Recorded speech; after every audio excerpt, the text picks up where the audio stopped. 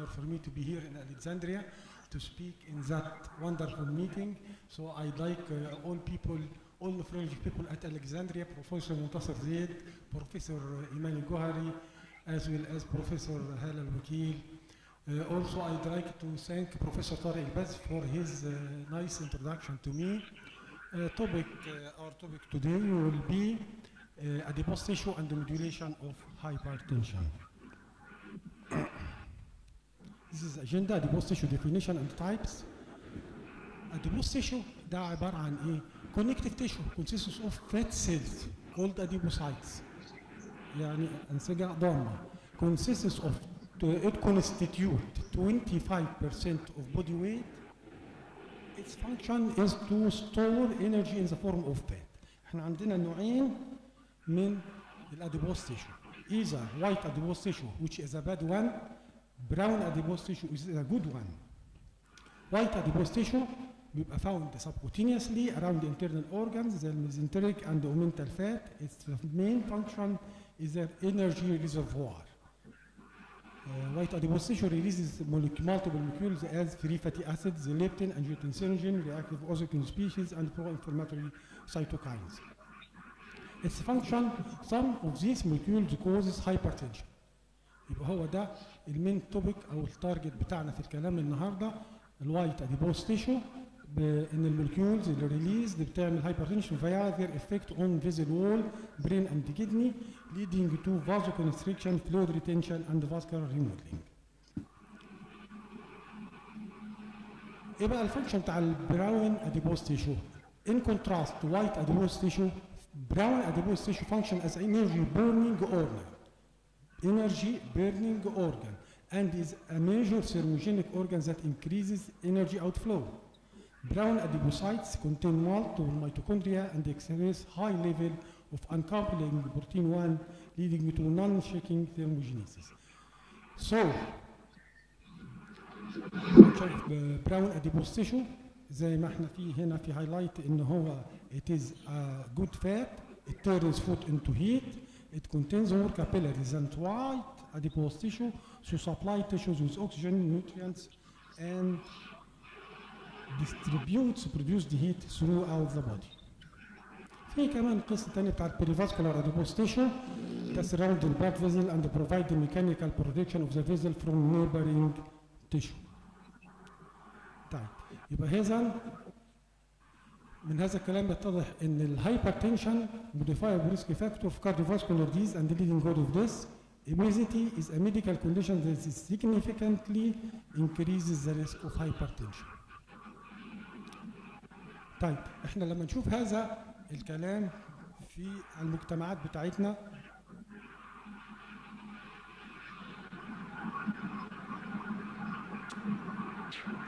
يعني أنا أنا آه، زي ما نوضح هنا اهو This is the picture of entrance of المنيا. دخول المنيا يعني إن شاء الله آه، قريبا جدا in the near future. آه، هيبقى في مؤتمر المنيا بإذن الله بعد ما خلاص إحنا مسموح لنا إن إحنا نعمل مؤتمرات. وإن شاء الله طب اسكندرية تشرفونا حضراتكم فيه بإذن الله. دي البوابة بتاع دخول المنيا زي هليول بالظبط أهو.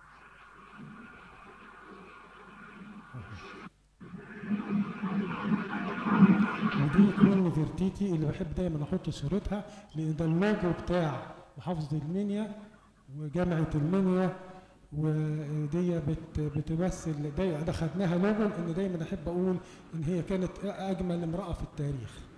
عشان كده خدوها لوجو لجامعة المنيا.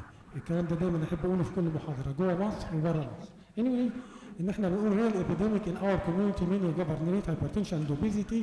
ال hypertension affect approximately 25% من ال people في المنيا governorate دي نسبة رهيبة. ان تبقى يعني ربع سكان البلد عندهم ضغط. دي حاجة مش قليلة. وبعدين لما شفنا ال etiology of end stage renal disease ال hypertensive nephrosclerosis بيشكل 21% من أسباب الفشل الكلوي في مرحلته النهائيه في محافظة المنيا. والكلام ده تم نشره محليا ودوليا وال obesity بتشكل حوالي آه 30% من الناس في المنيا governorate. anyway أدي الرسمة اللي بنقول عليها أدي أدي ال hypertension أهو. تاني column بس أنا مش عارف ال pointer مش شغال ليه. عايز اشاور عليها. تاني تاني column والكلام دوا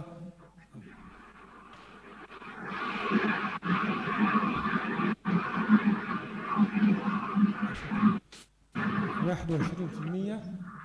بعد القانون على طول. يعني ده يعتبر كأنه أول سبب معروف لأسباب آه، الفشل الكلوي في المرحلة النهائية ودي آخر registry عملناها في المحافظة. هنا بعد كده هو بنشوف لما شفنا ال body mass index ودي كانت نشرت في Saudi Journal of Kidney Disease and سنة 2014 لقينا ال body mass index ابتدى يزيد في محافظة زي محافظة المنيا رغم إن زمان ما كانش الأمور كده أهو 26 ال average. هنا في الأمريكان 28 هنا تبوك اشمعنى تبوك تبوك دي small city in the Saudi Arabia ودي يعني شبيهة في كل الظروف زيها زي محافظة المنيا. فلسه عندهم هناك ال average body mass index في الانتيزيز حوالي 21 إلى 22% طيب إيه ال adipose tissue dysfunction بقى لأن إحنا كلامنا كله على ال adipose tissue النهارده الادوبوس تيشو ديسفانكشن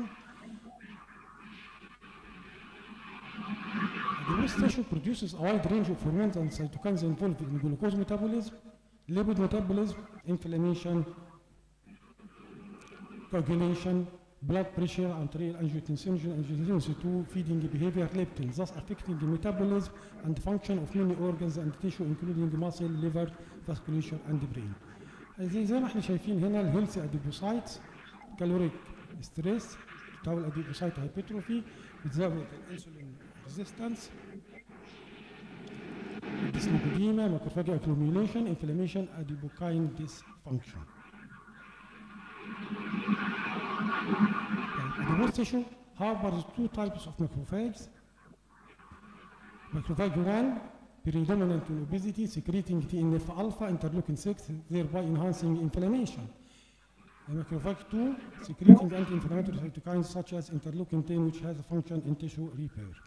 Adipose tissue dysfunction and obesity, both macrophages and adipocytes are capable of accumulating lipid and secreting cytokines. Interestingly, the number of macrophages in adipose tissue is reduced after weight loss.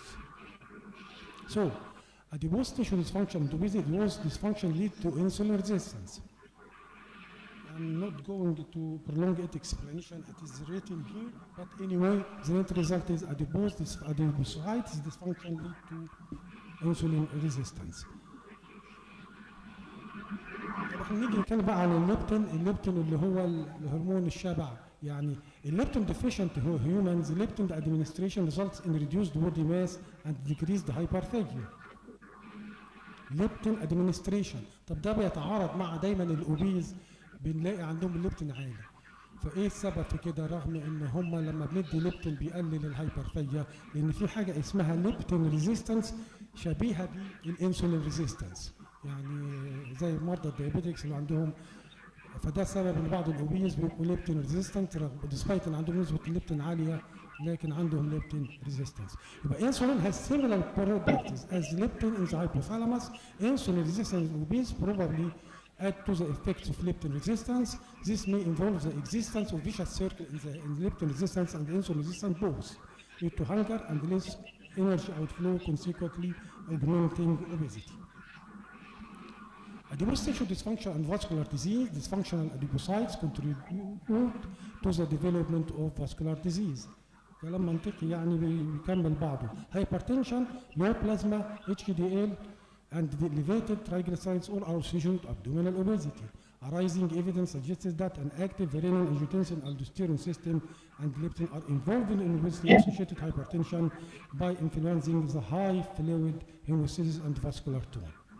So, in obese plasma angiotensin and renin concentration are elevated and the angiotensin converting enzyme activity is increased. Dysfunctional adipocytes of obese produce angiotensin and angiotensin 2 contributing to hypertension. يبقى كل دي عوامل بتؤدي إلى زيادة ضغط الدم في حالات لما بنلاقي الإيه adipose tissue dysfunction. Because adiponectin produced only by adipocytes, so a low plasma adiponectin concentration is a good representative adipocyte dysfunction. دي مهمة جدا في ال research النقطة دي. يبقى دي ال obese adipose tissue dysregulation of adipokines leptin adiponectin كله في النهاية بيؤدي إلى إيه ال hypertension وده نفس الكلام برضو in the same diagram كل ال leptin ال hyperinsulinemia sympathetic activation hypertension uh, aldosterone طيب abdominal obesity associated with increased risk of cardiovascular events this is uh, illustrated here كل ما زاد ال waist circumference كل ما كان liable لل more cardiovascular event نيجي بقى لنمرة ثلاثة في الأجندة اللي هو brown adipose tissue سكريزنج factor contribute to regulation of blood pressure. إحنا بنقول على الأدوبوستيشن ده نوعين الوايت والبراون. الوايت ده الباد والبراون ده الجود وان فهنا الجود وان هو البراون أدوبوستيشن سكريزنج فاكتور their link to obesity related hypertension. Brown adipose tissue is a major source of circulating vascular cell growth factor. Vascular cell growth factor plays an important role in maintaining normal endothelial function and blood pressure regulation. Brown adipose tissue derived vascular endothelial growth factor offer a benefit to hypertension treatment. Further research is wanted to test whether brown adipose tissue activation or transplantation could be a therapeutic approach to counteract hypertension. دي نقطة تانية من النقط الجديرة بالبحث أو الجديرة بالريسيرش إن إحنا نشوف الاكتيفيشن بتاع الجود adipose tissue هينفع في القصة دي ولا لا. طيب إيه ال life style modification طبعا إحنا كلنا عارفين إن أي عيان عنده ضغط وسمنه بنقول له خفض الوزن بس هنا الكلام اللي هو مهم نركز عليه إن هو في ال life style modification إن إحنا ال food restriction يا إما good for you بس taste bad يا إما bad for you and but tastes good makes you fat and ugly. رابع واحدة اللي هي كل إيه زي ما أنت عايز بس إيه ممكن يحصل لك premature death إيه بقى فايدة ال exercise هنا وال obesity related hypertension دي قاعدة. وقاعدة موجودة في كذا literature لما ابتديت أقرأ في المجال ده لقيتهم دايما بيكتبوا exercise cut hypertension بكذا وسيله بس أنا اللي, اللي جايبها هنا بس دلوقتي على علاقته بالاديبوز تيشو exercise stimulate cardiomyocytes to secrete cardiomyocytes that induced browning of white adipose tissue. Factors as FGF2, leucine, interleukin 6, lactate, and natriuretic peptides are secreted from cardiomyocytes during exercise and induce browning of white adipose tissue. aerobic exercise increases lipolysis and subsequent free fatty acid mobilization decreases the adipocyte and adipocyte size. A certain study, intermittent fasting, يعني العيان لما بيصوم فترة هل ده ليه علاقة على ال obesity related hypertension؟ يعني بعض ال literature زي اللي موصوفة تحت ده اللي نشرها في ال International Journal Cardiology وال certain study suggested that intermittent fasting reduces blood pressure. The study, however, did not clarify molecular mechanisms of this blood pressure reduction. Intermittent fasting may induce browning of white adipose tissue by regulation of fasting-induced vascular endothelial growth factor in white adipose tissue. Different chemical agents that induce browning of white adipose tissue may be a good treatment of hypertension. زي ما احنا شايفين ادي الوايت اللي هو الباد ال exercise بيخليه يبقى brown بتكون النتيجة ال brown adipocytes بتزود بتقلل ال lipid في ال blood بتقلل ال blood pressure وبتؤدي إلى ال cardioprotection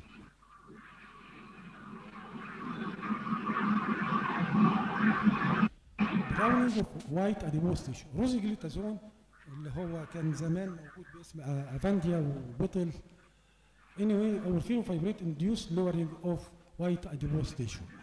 ده كنت أتمنى أشوف ال feedback بتاع الناس بتاع ال cardiology يعني لما يشوفونا إحنا ك kidney doctors بنعالج ال hypertension ب insulin sensitizer يا ترى يقولوا إيه؟ يعني لما تبقى واحد مريض hypertension ولو إن واصفين له دواء insulin sensitizer انت hypertensive يعني انطباعهم يكون إيه؟ الدكاترة دي سرحانة بتوع دكاترة الكلى ولا كلامنا صح؟ يعني نلتقي إن شاء الله في المهم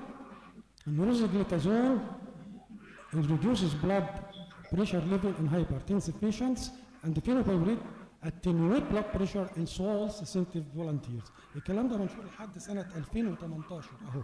يعني كلام مش مش مش كلام قديم. يعني ال insulin sensitizers وال fenofibrate بريديوس البلاد بريشر على حسب الناشر ده الثيرويد هرمون هل لها علاقه بالقصة؟ يس ثيرويد فانكشن is closely associated with blood pressure regulation. Hyperthyroidism is frequently accompanied by systolic blood pressure elevation in contrast to hypo in contrast. العكس بقى الهايبوثايرويد is linked with increased diastolic blood pressure. ليه جبنا سيره الثيرويد هرمون؟ الاديبوز tissue is one important target of thyroid hormone. Thyroid hormone significantly contribute to full serogenic capacity of brown adipocytes. اخر نقطه النورماليزيشن اوف dyslipidemia increased obesity related hypertension. Normalization of dyslipidemia improve obesity related hypertension بمعنى abnormalities of lipid metabolism are closely associated with hypertension in humans. Dyslipidemia induces appearance of various components of renin angiotensin aldosterone system as renin and angiotensin and angiotensin 2 receptor in the blood vessels initiating a key cascade in the development of hypertension ولذلك أنا متعاطف مع كلام اللي قالته الدكتوره في المحاضرة السابقة على الوصف الستاتين في ال normal lipid profile لأن ده يعني ثبت في في ال literature كتيره وبعدها منشور من أكثر من 15 سنة إن هو very beneficial حتى في ال lipid normal lipid profile. فاني إن إحنا إحنا عندنا هنا في ال obese ال hypertensive لو عالجنا لهم dyslipidemia ده may improve ال blood pressure بتاعهم.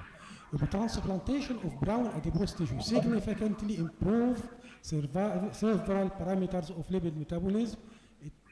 Lower serum level of total cholesterol, LDL cholesterol, triglycerides, and then tissue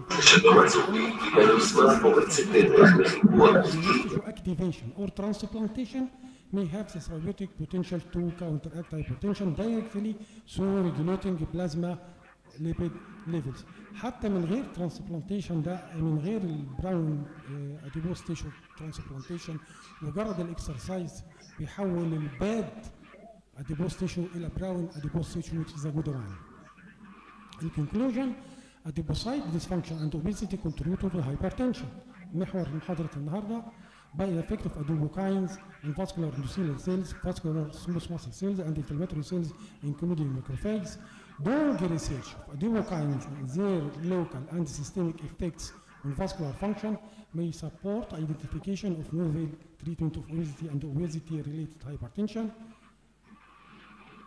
Recommendation في عجالة it remains unclear whether reduction of blood pressure is mediated by browning of white adipose tissue or other mechanisms يعني ان هل هذا بيحصل عن طريق ان نحول الوايت اديبوس تيشو ولا ولا ولا ميكانيكيه أخرى studies are necessary to uncover the role of white adipose tissue browning and regulation of hypertension expression or browning of white adipose tissue may be an underlying mechanism of blood pressure reduction in intermittent fasting دي اهم نقطه بقى في القصه further studies further studies are recommended to examine the role of fasting induced adipose vascular endothelial growth factor in blood pressure regulation.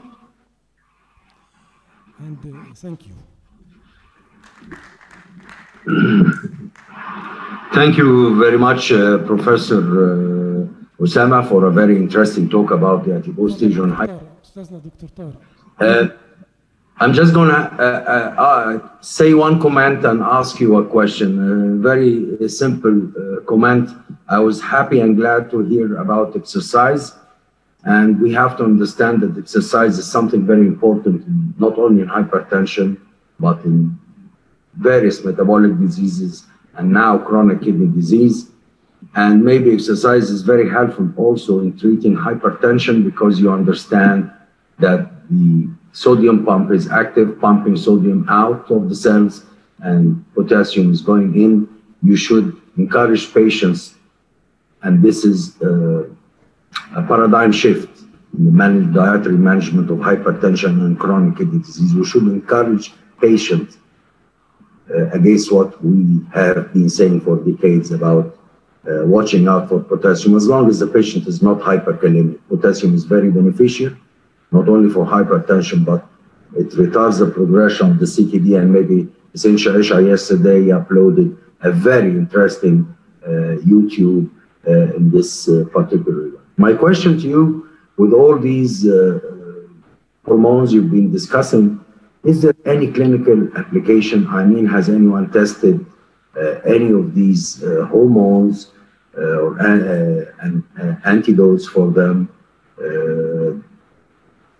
Uh, I'm not aware of anything in this uh, field.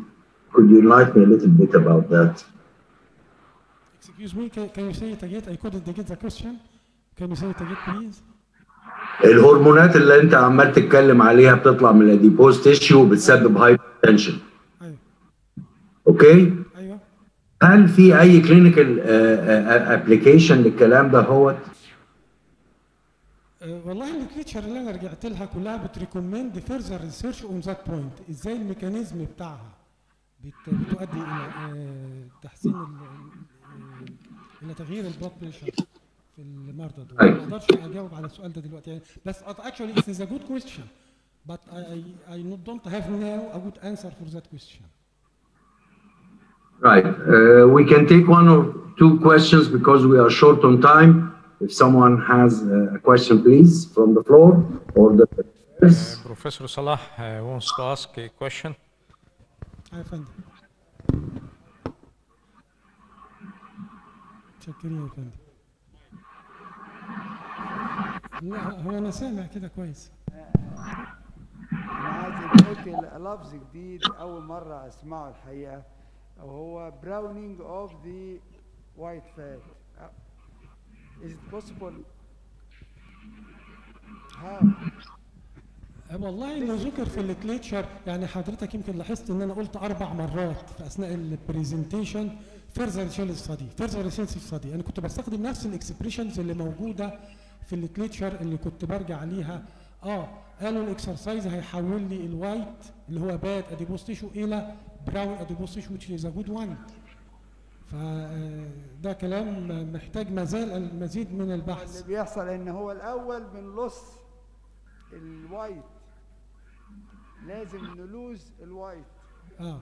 لكن إن أنا أحول ال white ل brown المفروض الدكتور طارق الباز من الناس اللي هي متخصصة في ال lipidology برضه. لنا explanation يا دكتور طارق لحكاية white. browning of the white fat I don't have an explanation. It's a new term for me as well. I haven't heard it before. ان شاء الله إذا ربنا كتب لي عمر عمر وحضرتك عزمتني السنة الجاية على الإلقاء أتكلم بقى عليها ونكون عملنا study على الموضوع ده وإزاي بيحصل ال browning of adipose tissue لأن دي نقطة مهمة. أنا أنا بشكر الدكتورة إيمان الجوهري اللي, اللي اقترحت عليا أتكلم في الموضوع ده لأن اضطرتني أقرأ في حاجات أنا ال- ال- الحقيقة يعني ما كنتش آه، متعود أقرأ فيها. يعني أنا يعني دي أنا دي لي 10 سنين متخصص في GFR شغلي كله على GFR سواء رسائل أو publication أو أو حتى presentation في أستاذنا الدكتور منتصر يمكن كنا بنلاحظ حضرتك في الإيديت لما كنا نروح دايما حضرتك كنت تلاقي ليا presentation عن GFR آه طبعا. لكن لما أنا بشكرك جدا يا دكتوره إيمان إن فتحتي لي مجال بحث علمي آخر. يعني أنا أنا هعمل ثلاث أربع رسائل كان لي عمر في في في الموضوع ده وال browning وفي adipose tissue في الأيام الق... في الشهور القادمة إن شاء الله. إن شاء الله. نشكر الأستاذ الدكتور أسامة المنشاوي. آه،